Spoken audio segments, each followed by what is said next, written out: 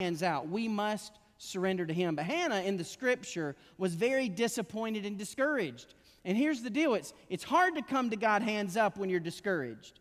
I mean, you want to come hands out. You want to just say what you need and leave it at that. But Hannah understood that, that it, was, it was ultimately about God's purpose and will for her. And this was a serious struggle. Look at verse 10 and 11 and, and just be reminded. Man, she was in anguish, right? It used the words she wept in anguish. This was serious. This was a serious struggle.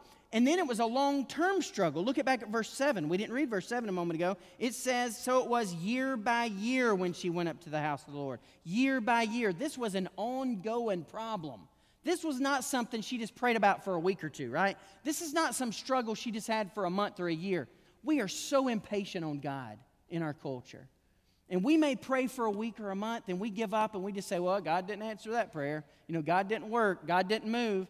But here's the deal if we believe Romans 8, God is continually working. There is never a moment when God's not working in your life. Never.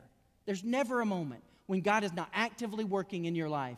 And so, as He's working all things out for your good, even when it doesn't feel good, even when it feels terrible, even when the struggle is present and the pain is real, man, God is working. God is active. And so this was a long term struggle. Year after year, she struggled with this problem.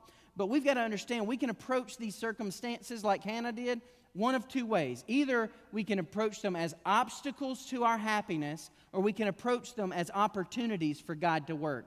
And man, you could apply that in any area of your life. I want to say it again. Listen, in whatever struggle it is, I mean, could, you just think of what your biggest problem is in life right now, whatever it is. It may be that, that kid. It may be that job. It may be that whatever, you know, your marriage. I don't, whatever it is, all right? Or, or, or your parents, who knows? Uh, whatever that struggle is, whatever that problem that just seems to be day by day, week by week, month by month, maybe year by year, an ongoing struggle, maybe something you're trying to overcome in the way of temptation. Here's the deal you can look at that struggle as an obstacle to your happiness, but that would be a very self centered, self absorbed approach. But here's the deal that's how we usually do it. We usually approach our problems as obstacles to our happiness. That will not bring glory to God. That won't.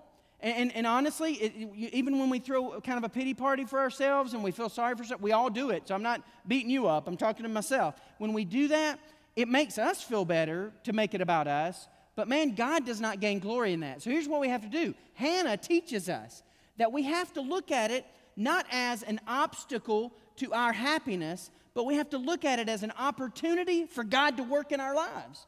And, and, and again, there's no way we could ever experience healing without sickness, right? No way.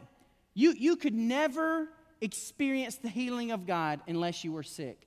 And sometimes we look at the bad things and we think, why did God allow me to be sick? But see, if it's about us, then that's pity part. That's terrible. But if we look at it from, from God's perspective and the whole purpose for our being here is God, not us, then we can understand this is not an obstacle to my happiness. This is an opportunity for God to invade my life and to work in such a way that everybody around me knows that He is in my business and He's working.